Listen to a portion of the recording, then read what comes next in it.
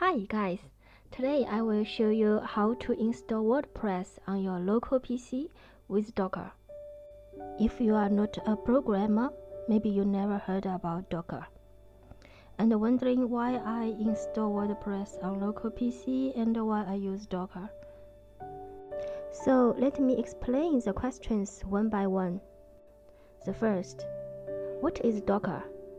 Docker is a lightweighted virtual machine like for example VirtualBox or VMware, but lightweighted and faster than VM.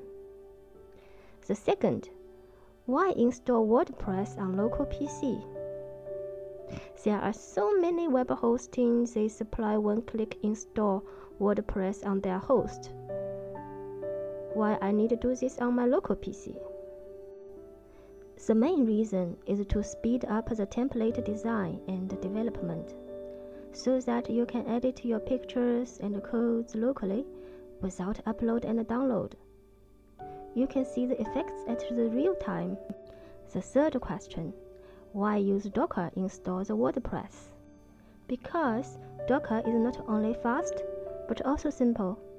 You don't need to consider the complicated, detailed installation processes and it also separates the application environment.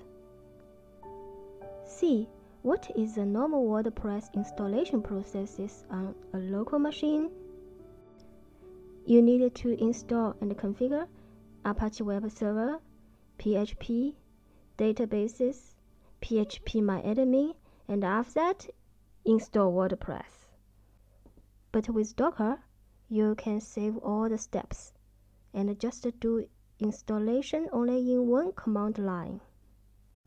Another problem is about what if you want to test different versions of applications, for example, different PHP version or databases.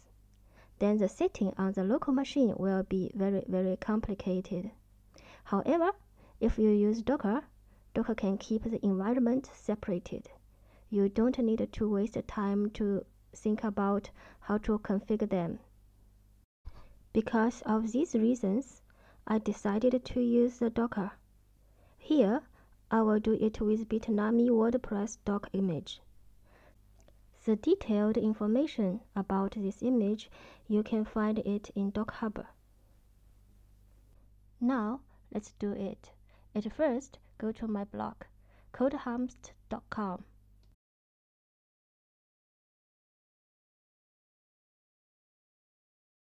So you see the article WordPress quick installation with Docker on your own PC.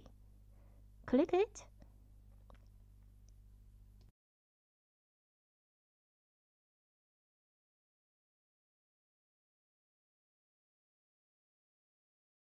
I put it all the reference link here. Now let's take a look at the quick installation. First install Docker, then Start Docker. After that, download the Docker Composer file. After that, run the Docker. If you haven't installed the Docker, then click the link. Go to Docker website. Go to Product. Then click Docker Desktop. You can choose the Docker version and follow the instruction install Docker. It is very easy. After the installation, you should now start the Docker.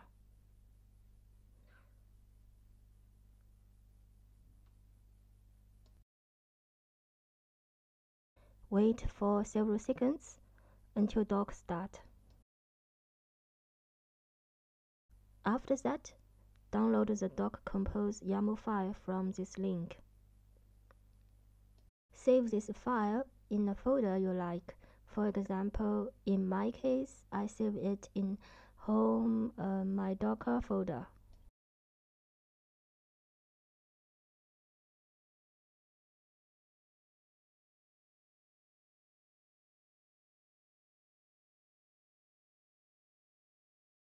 Now, let's open this file. Take a look in it. You need to do some small changes.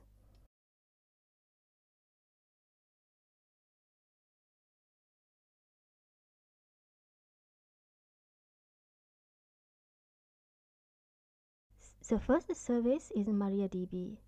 The volumes is your folder where to save the database.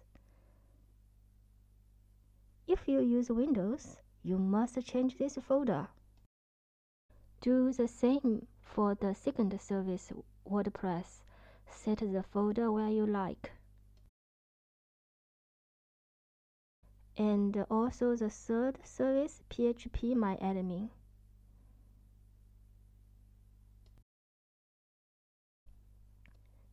And take a look, the MariaDB user is Conny Gu. And also the WordPress DB database user is also Conny Gu. And here is very important is the username. WordPress username is Conny Gu and the WordPress password is CodeHamster.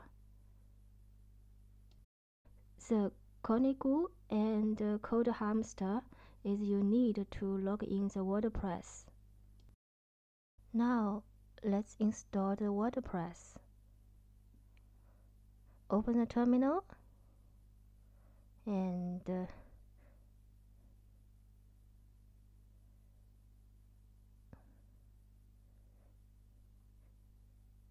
input the command doc compose minus f pass to the YAML file.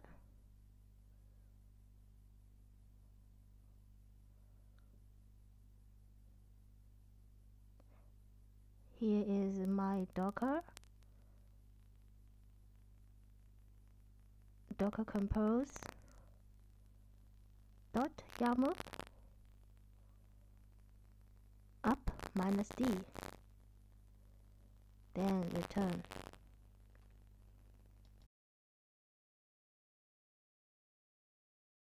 now the docker begin to create the wordpress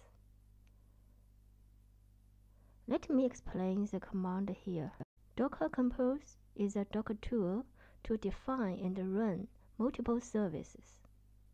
Minus F is an option for the YAML file path.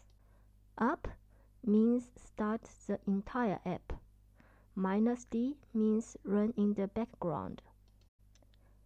Let's look into the folder. Docker created three folders for each service you see the MariaDB, PHP Ad MyAdmin, and WordPress.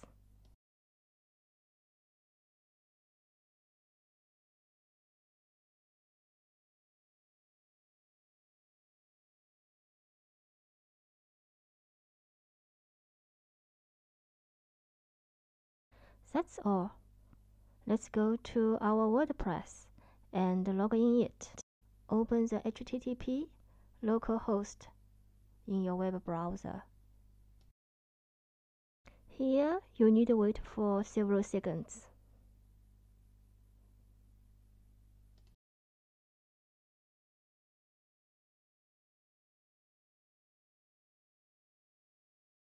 Now it started.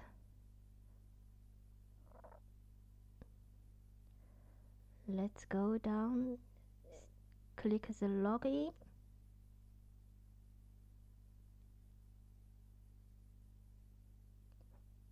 let's see what's the username and the password. In the YAML file it is Conny username and the code hamster is the password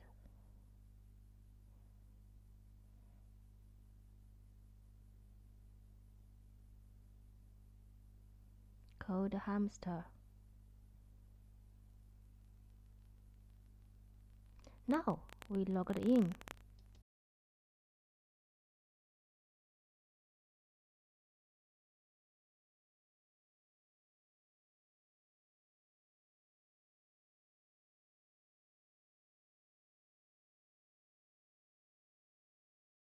Now, maybe you want to take a look at the database. So let's go to the phpMyAdmin. Click the localhost 8080 port.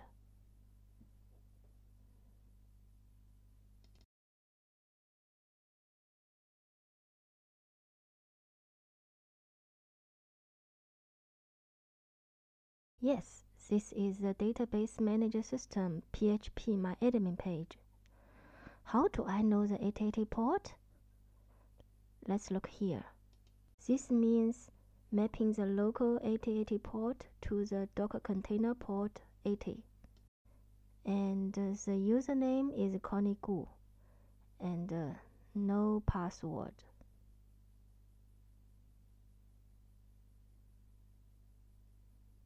Go. Yes, we logged in the PHP My Admin and we can see our database.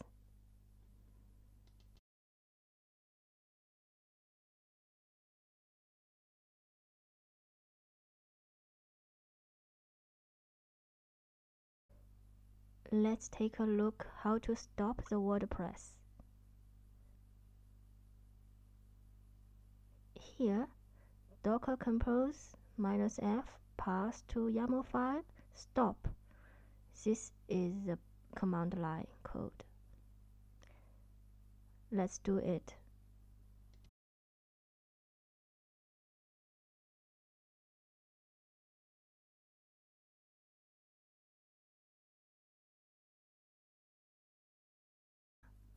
Compose minus f pass to the file stop. Now the docker stopped the wordpress. Now you want to start the wordpress. There are usually two methods. The one is docker compose start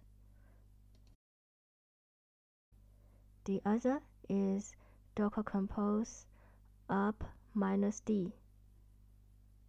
I prefer the second way because it takes the latest image and uh, creates a new container so you will always get the latest WordPress.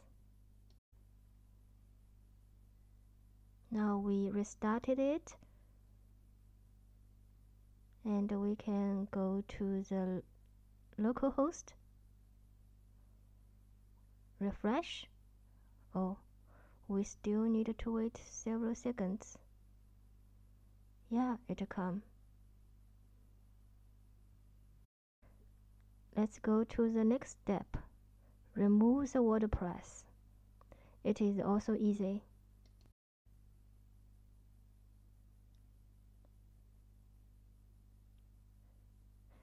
The first step, stop the WordPress. Docker compose, stop. Yes, stop the docker.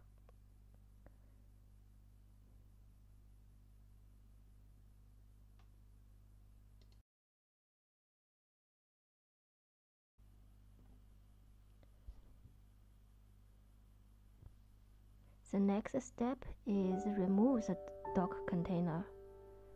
Docker compose rm.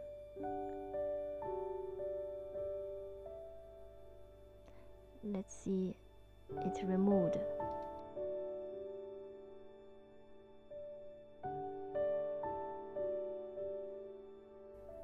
After that, we should delete all the WordPress paths, MariaDB paths, and PHP MyAdmin paths.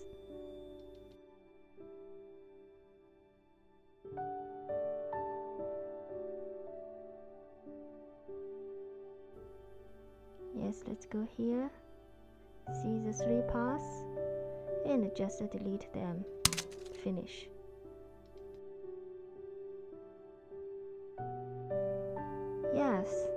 that's all. From the installation to delete all the WordPress. You learned the Docker and learned how to install WordPress with Docker. Thanks very much for listening. See you next time.